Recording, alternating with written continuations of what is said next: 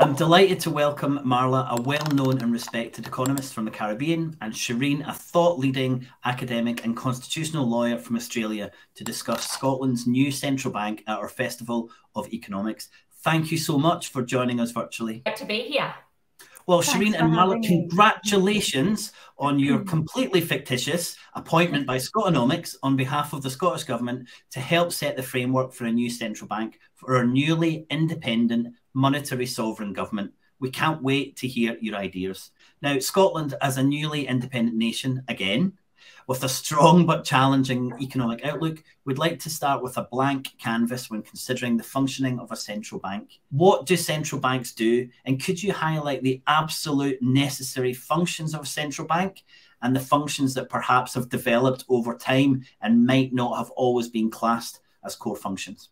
Thanks for that question. It's a good question, William. And I have to say that from my read of it, the functions and roles and responsibilities of central banks can vary according to the size and type of country that we're talking about. In the Caribbean, it's not the same that you would have, for example, the Bank of England. So there are some nuances when you're a small, especially a small, newly independent country that's just starting out. But in general, the roles and functions of this new central bank for newly independent Scotland. First of all, you will be the central bank will be the lender of last resort to all of the commercial banks and financial um, licensed financial institutions that are regulated by this central bank. And oftentimes, the central bank is also the lender of last resort to the government. Sometimes the governments, it's been our experience in the Caribbean, are unable to raise debt commercially to finance their deficit for various reasons, low credit ratings um, being one of them, high risk. Um, and sometimes the central bank ends up financing government, which of course is not a good idea, basically printing money to give to the government. So that's also um, one of the key roles um, that a central bank can play. Central banks also conduct monetary policy with the focus mainly on overall price stability, and that means controlling inflation. And they do this mainly via interest rates. But sometimes in developing countries, interest rates are not necessarily the best mechanism and so you find sometimes I've seen examples where they use the reserve requirement that they apply to banks. They use open market operations um, and other mechanisms such as regulating the amount of credit that banks can give in the economy. Um, also, interest rates can be used to manage your exchange rate. And that's also a key function of a central bank to manage the exchange rate, meaning the rate of exchange between your currency and the rest of the world. Central banks also create and regulate the amount of local currency in circulation. They issue notes and coins, physical notes and coins, for example, as well as electronic money. That's the kind of money we use when we use our credit cards and so on. And they put that money into circulation in the in the country, in the economy, mainly by buying um, securities from the government, buying government paper. And they can also use that mechanism to control inflation. And they can also use that mechanism and, the, and controlling money supply in order to manage the exchange rate. And that foreign exchange regulation aspect of a central bank is probably more important in small open economies um, than in some of the larger economies where they have what we call hard currencies, currencies that are easily convertible to any currency on the international market. Central banks also um, regulate the licensed financial institutions.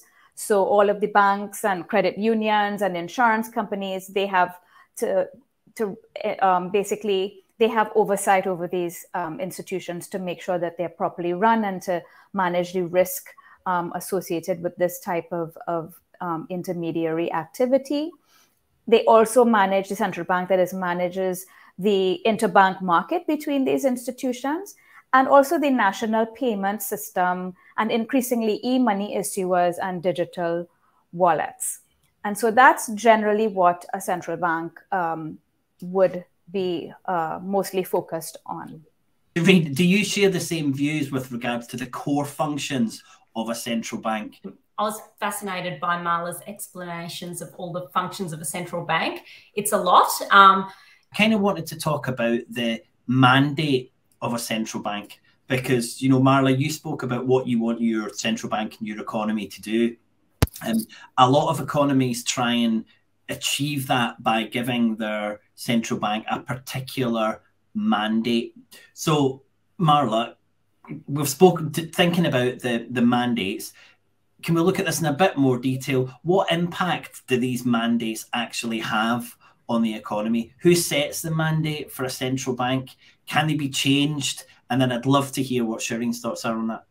I think this mandate has to come largely from, again, the goals, but also from the political um, arena where you decide what exactly. I'll give you an example. As I mentioned earlier, in Jamaica and in um, Dominican Republic, they look at inflation targeting. They want to have inflation between a range of two to four percent. Let's just say. Unfortunately, many of us in the Caribbean, we do not have a clear mandate that says, well, the central bank has a goal of targeting inflation of this amount or growth of that amount or unemployment of another. And so it's very difficult to understand what the policy direction is.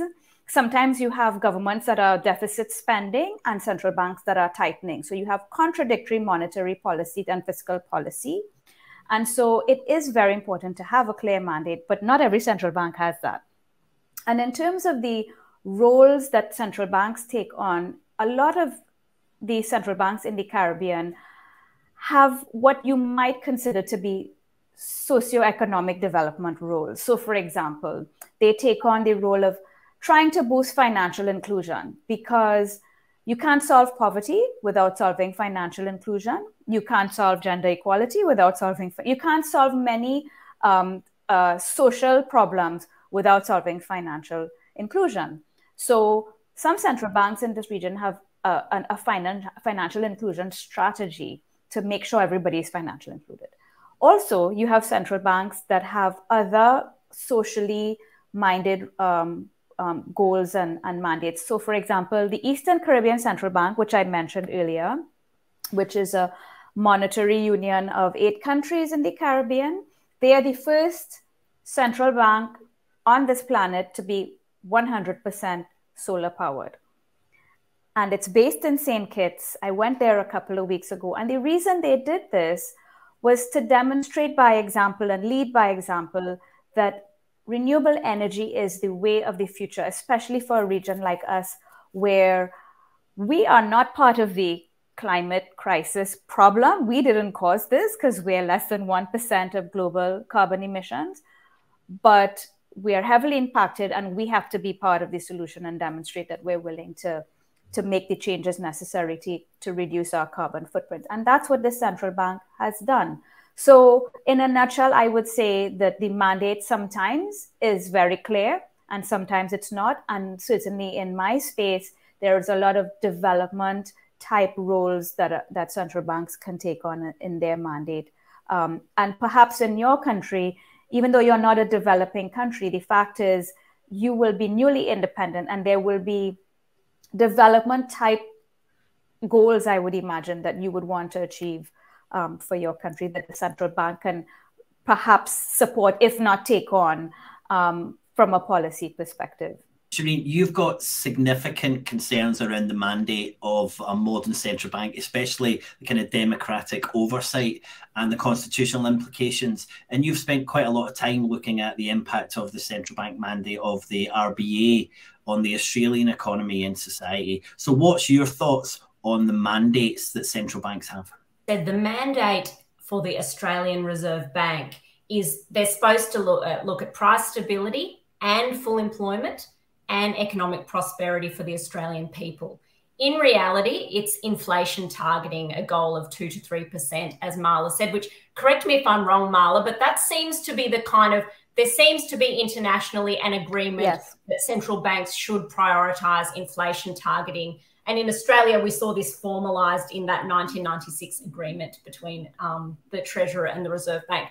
Now, to me, this is this is a problem because what it leads to is a real deprioritisation of the goal of full employment.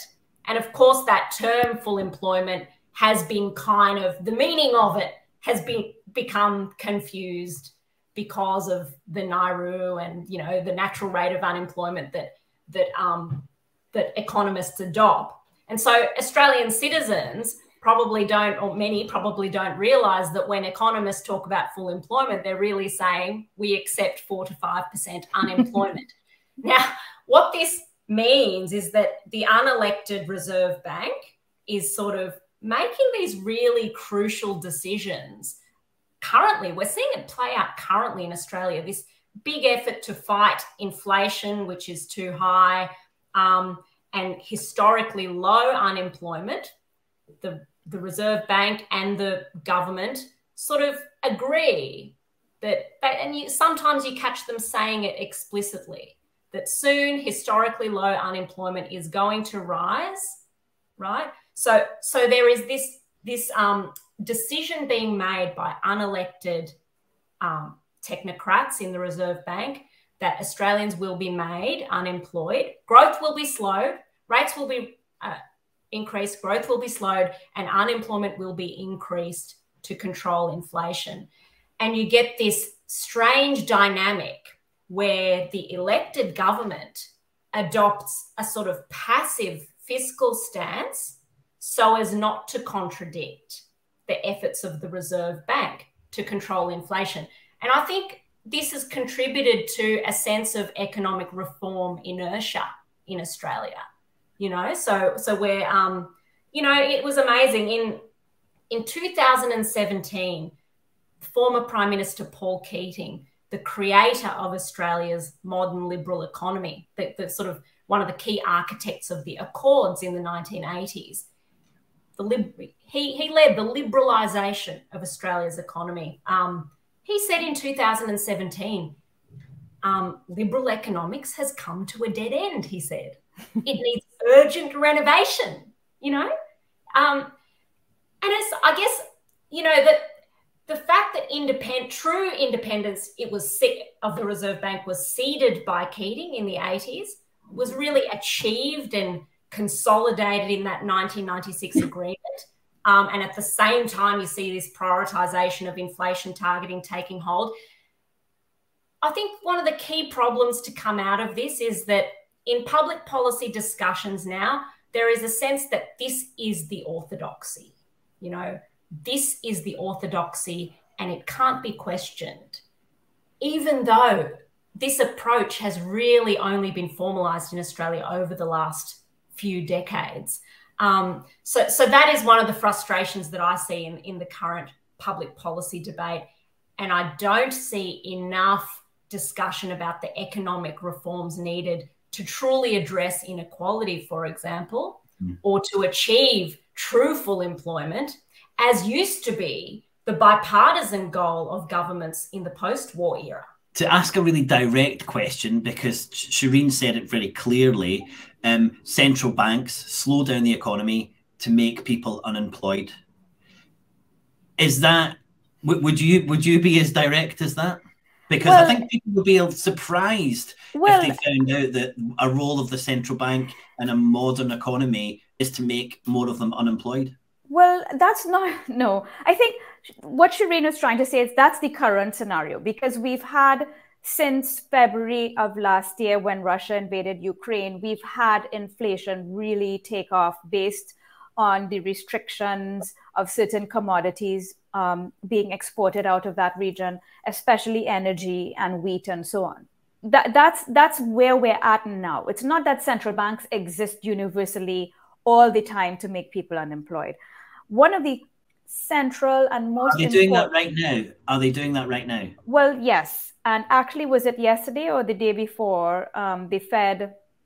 This is basically what was said that um, you know more people will have to become unemployed for for us to get this inflation rate down to where we would like it to be. So there is this trade off between inflation and unemployment, right? The more that governments spend or the more money that's printed in the economy, the more economic activity is generated, the more jobs are created. However, so that means unemployment is low, right? Because employment and jobs are high. However, if you keep going with that stimulus, that fiscal and monetary stimulus, so many people will have so much spending power that they will start driving prices up in the economy. And you will then get inflation going up. And in order to bring that back down, because one of the central and core roles of a central bank is to maintain price stability, as I mentioned initially, and overall financial stability. But let's focus on price stability. They're going to have to now retreat some of that stimulus, withdraw some of that you know money supply the fiscal side the government will have to retreat some of its spending in order to rebalance things because you you don't want prices going like this and you certainly don't want it going like this which it has been for the past year so yes the trade-off is that you slow the economy down and some of those jobs and or wages will suffer in order to moderate inflation. That's just sort of one of the trade-offs that is traditionally the case in in economics. But i will say to you that that's not necessarily how it works. In in the caribbean for example in any country that's heavily import dependent our in, inflation rate right now has nothing to do with how buoyant our economy is and how much the government has spent and how many jobs are we have high unemployment at the same time as we have high inflation which you know, is not supposed to happen. But because we have imported inflation, because we're so import dependent, we do have high inflation. Now, if if central banks raise interest rates, tighten monetary policy, and the and the government tightens fiscal policy, right when you have all of these price pressures, what does that do? Does that fix the inflation? Absolutely not because the inflation is imported because we're importing oil and gas and wheat and rice and everything yeah. and and so our domestic policy has no impact whatsoever on the price level what it does is in, increasing interest rates causes a higher cost of living higher cost of living causes higher poverty higher inequality as shireen mentioned higher joblessness, and it still doesn't fix the inflation. So that's the other thing that a central bank in Scotland will have to figure out. Um, when and how do I use my monetary policy tools? And if this is in fact imported inflation and has nothing to do with a buoyant Scottish economy, then raising interest rates and tightening monetary policy is just going to make people poorer. Shireen, I remember reading somewhere you said that this kind of trade off between uh, inflation and unemployment was, I think, you know, to quote you, you said it's a tragedy. Would, would you like to give us a wee bit more detail on why you think that it's so unfair that it's the poorest people in society who pay the price for keeping prices down? Yeah, and it's look, it's not only a tragedy. Can I just to uh, um, add to what Marla just said? it also doesn't make sense because also in Australia, there is widespread acknowledgement that current inflation is primarily driven by supply issues, right?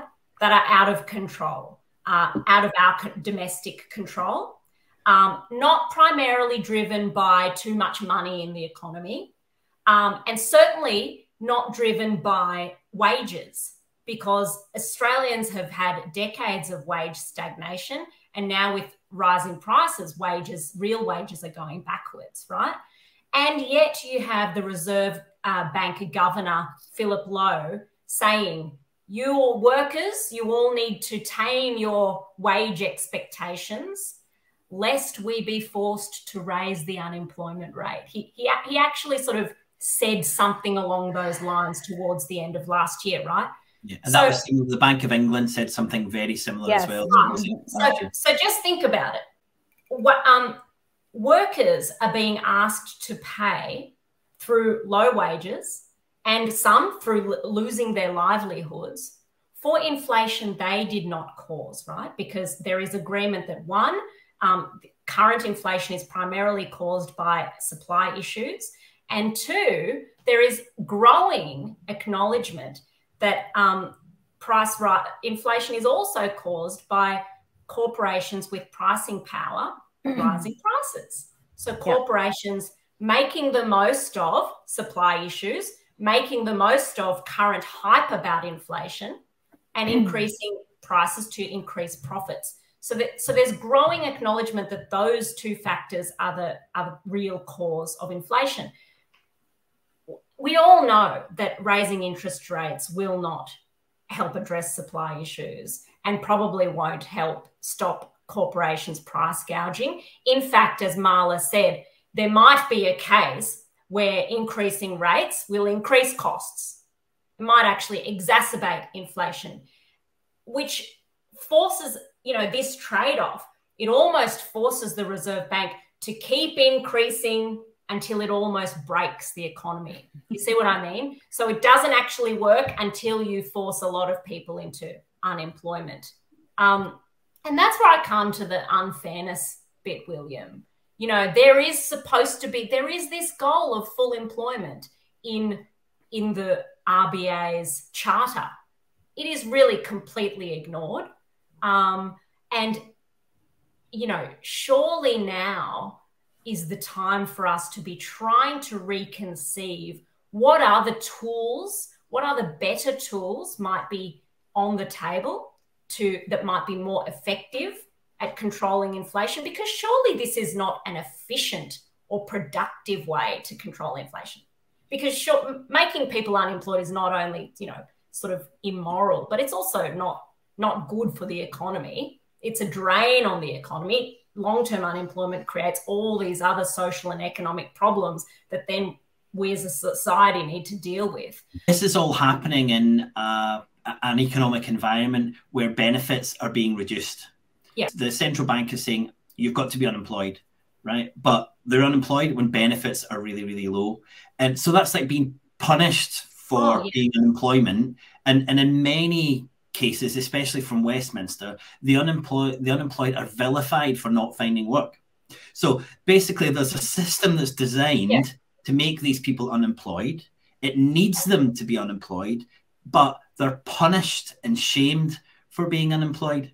And as you said, and I picked up on that really clearly because that's exactly what I believe. That's a that's a tragedy that people are backed into this corner, and there must be another way there must be other mandates that the central bank can follow. So if there is, and we've got this blank sheet of paper, um, I'd love to hear your your thoughts. And Julian, again, I'm picking up on something you I read in your wonderful speech that you gave. The scarcity of imagination inhibiting Australian economic reform must be overcome.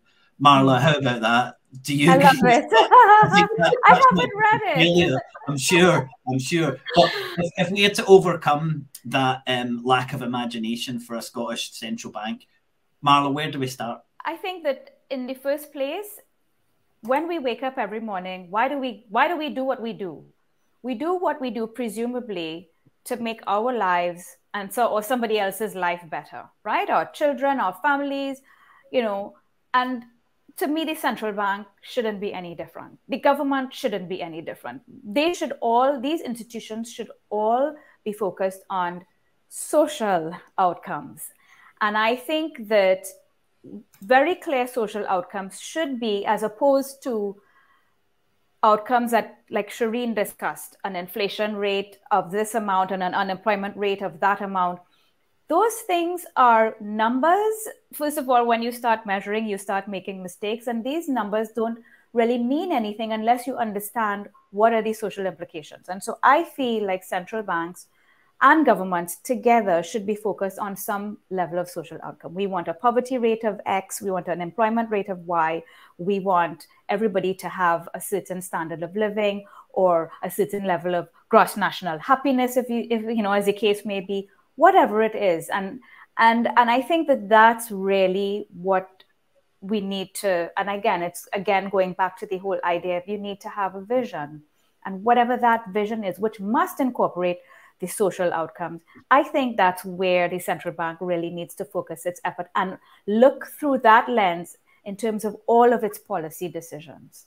Yeah i, I couldn't agree more marla. Um, you know the former head of the international head economist of the International Monetary Fund, I think he tweeted at the end of last year something like, "We should dream of a a negotiation between corporations, labor, and the state um, that conceives of a better way of controlling inflation that doesn't require a painful slowdown, you know? Um, in my speech that you mentioned, William, I argued for a new accord, a new radical centre accord, um, because in Australia we had the accords of the 1980s where Labor and capital got together, um, facilitated by government, and agreed, negotiated a, a, way forward. And they agreed to wage restraint in, in exchange for certain social benefits, what, what they call the social wage. Um, I argue that we need to do that again. We need to get capital, labour, the state at the table to, as Olivier Blanchard says, to negotiate a better way of controlling inflation, keeping a healthy economy in a way that doesn't make the most vulnerable pay for price stability and in a way that doesn't require a painful slowdown. And I think part of that, the, the perhaps the res, one of the results of that negotiation should be to acknowledge that the work of central banks is inherently political, right? These choices, as Marla said, they're not just about numbers. You know, it's not some econometric exercise devoid of human consequences. The numbers are real people. You know, when they sit there talking about how we need to raise the unemployment rate, actually, those are real human beings that you're consigning to poverty. Uh, because in Australia, the, as you say, William, the, the rate of benefits is below the poverty line. You know, so we're putting people into poverty. Um, some of the the new, fresh thinking ideas that have been raised in recent months. Well, firstly, I think we need to see get rid of this facade that the Reserve Bank must be independent, given we should acknowledge they are making highly political decisions. I would like to see a better integration, just an upfront integration that the, the Reserve Bank is part of government. They should be working hand in glove with the Treasury, with the government to achieve public policy ends, as Marla says. Um, so, some ideas that could come under that are rather than only inflation targeting, perhaps we need to counterbalance inflation targeting with a true employment target, which should mean a finding a fairer synthesis between the dual important goals of price stability on the one hand and true full employment on the other hand. Um, they could involve incorporating the idea of a federal job guarantee, which some argue would be a better and more productive way of managing inflation and stabilising the economy. Um, so rather than making a, a, cohort of Australians unemployed, um, the government could provide a buffer stock of minimum wage jobs. So a job safety net rather than just a below poverty line welfare safety net. Um, and anchored at the minimum wage, the argument is that that would not be inflationary. Additionally, a job guarantee could make unemployed people employable, which should increase competition and also should discipline wage rises. Secondly, I think we should look at cre- other creative mechanisms for managing inflation that don't involve making people unemployed.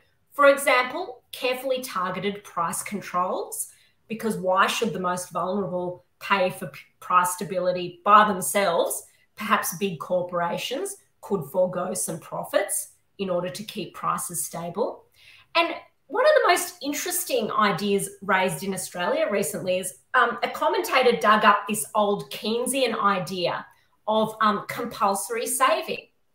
Because now think about who are the winners of the current approach. You know, currently, if let's just say um, inflation, the cause of inflation is um, too much money circulation, right? And we do, let's say we do need to pull money out of the economy. The current approach is that we do that by raising interest rates. Who are the winners of that approach?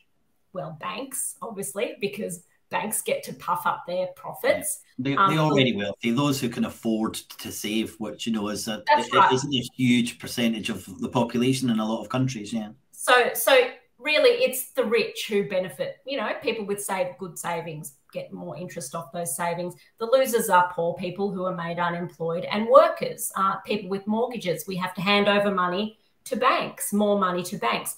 Now, Keynes raised this alternative idea. If you need to pull money out of the out of the system, maybe you could legislate compulsory savings, right? Um, so in Australia, we've already got a superannuation system. It's already legislated. So employers, when they pay people, they set some money aside for retirement that, that we are not allowed to touch that money until we pass a certain age. So the architecture is already there. Imagine a system whereby instead of rate rises that give money to banks, you have compulsory savings where you're not allowed to spend this money because we've got an inflation problem. But when the inflation cools, that money is still yours and you can spend it later, maybe when the economy needs stimulus. Now, if you think about, you know, on the one, the other idea, of course, is tax, that governments could tax to um, pull money out of the economy. So instead of giving money to, to banks, you give money to government revenue. The problem with that, of course, is it's slow. So if if you need to implement taxes quickly, um, maybe it's too slow. However, during the global financial crisis, Australia deployed quick cash payments, mm. right? $1,000 or $900 cash payments. So you can do quick, I would imagine there might be a way of quick emergency taxation, right? So instead of giving it to the banks, give it to government. The radical centre, I love this term radical centre. Perhaps a radical centre solution is this idea of compulsory savings. Allow people to keep their money that they've earned. Just don't allow them to spend it right now. Um, so I would, you know, surely we're at a point now, given COVID, given the GFC, given Paul Keating's declaration that liberal economics has come to a dead end, and Olivier Blanchard's comments. Surely we need to have some of these creative alternative ideas for how to tackle inflation they should be part of our discussion right now. And it Absolutely. shouldn't be this situation where, oh no, this is orthodoxy. It must not be questioned. A couple of things that I've seen us use in the Caribbean is um, the central bank will impose limits on how much credit growth can take place in the economy. So they'll say to the banks, you're not allowed to lend, in other words, issue loans beyond a certain, um, you know, increase in your asset base. So that helps to pull some money some spending and borrowing and you know spending fueled by borrowing helps to retreat some of that and also by raising the reserve requirement of the of the banks so in other words banks will have to park more of their liquidity in the central bank as opposed to being able to lend it out but that's when it's domestically created inflation based on buoyant economic activity and rising wages for imported inflation i agree with shireen around you know, um, targeted price controls, especially for the basic food items. Um, but also, I've seen countries across the region put caps on on fuel prices, electricity prices, also bringing down the import duties of certain basic food items, and that helps to bring the price on the shelf down. So all of those are ideas that you know, and you can, I guess, you can almost decide on a mix of policy interventions um, that work for your economy. But I wanted to pick up on one point where Shireen was discussing the whole um, idea that you know central banks ought not to have this independence um, simply because they they have to act in cohesion, basically. Um, I think that the reason why in this region we like to have and, and Jamaica is a perfect example. Just a, a year or so ago or two, um, passed legislation to separate its central bank from its minister, from you know influence from its minister of finance, because the last thing you want is is a minister of finance who can't balance his budget and can't raise money at a at a reasonable rate and then tells the central bank well you got to print this money this happened in barbados and this is why one of the reasons why we defaulted in 2018 because the minister of finance told the governor you got to print $50 million every month for me to pay salaries. Um, and if you have independence, a central bank is supposed to act according to its mandate, whether that mandate is price stability or, or unemployment or whatever the target is. And so, in some circumstances, I believe, especially when there is a tendency to have, from historical perspective, for, to, to have this situation where central banks print and finance the government excessively, I think it would be a good idea to have some independence with the understanding that there must be policy coordination. Otherwise, you're just defeating the purpose. No central bank is truly independent. What what do you both think was the main driver for this push globally for central banks to become independent. I think you know, kind of mid '90s was when this kind of I hesitate to call it a craze, but when this kind of uh, economic orthodoxy was that um, central banks have to be independent.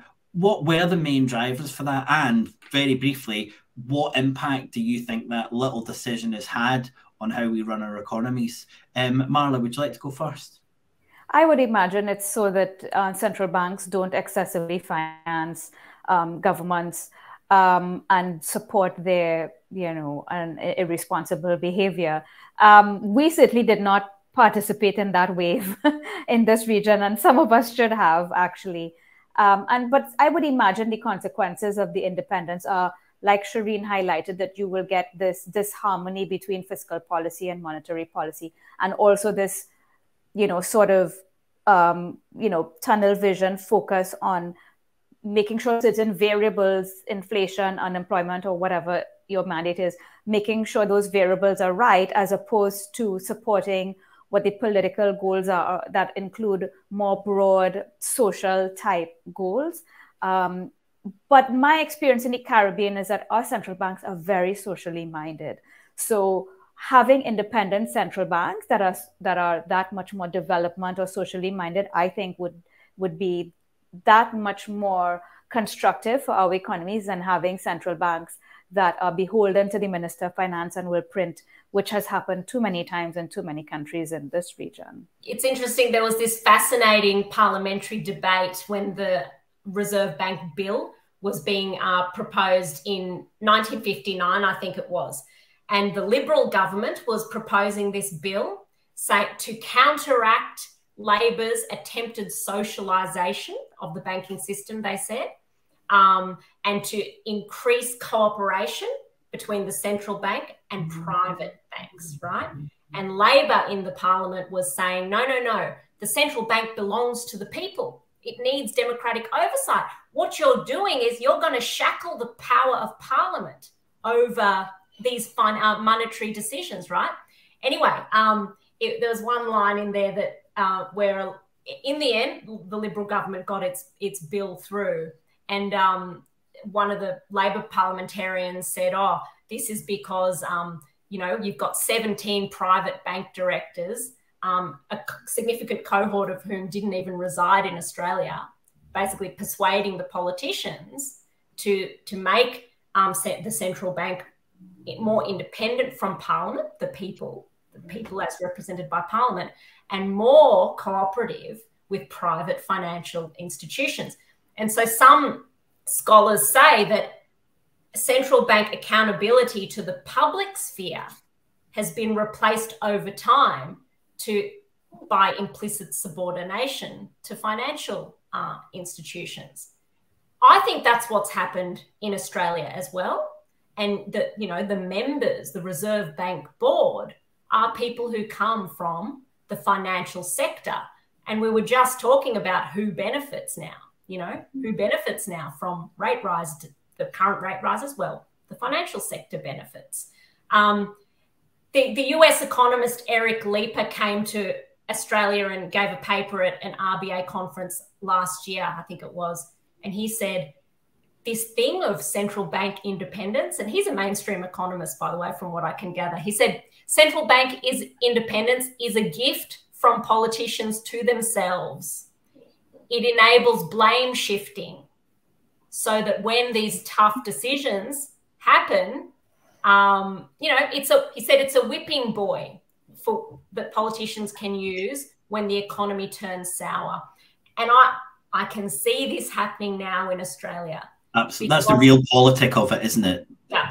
because yeah. politicians kind of play this game, even though there is agreement that uh, on inflation targeting, politicians distance themselves from the decision, current decisions of the Reserve Bank, which are painful to many in society, right? And they say this has nothing to do with us, almost as if they've got no power over over the Reserve Bank, no power over these decisions, um, and th- these decisions have nothing to do with us. So then the question for us as citizens is: so where does democratic accountability lie? if if we don't like the current economic decisions playing out, if we think they're unfair, who can I complain to now? Mm. That's the problem.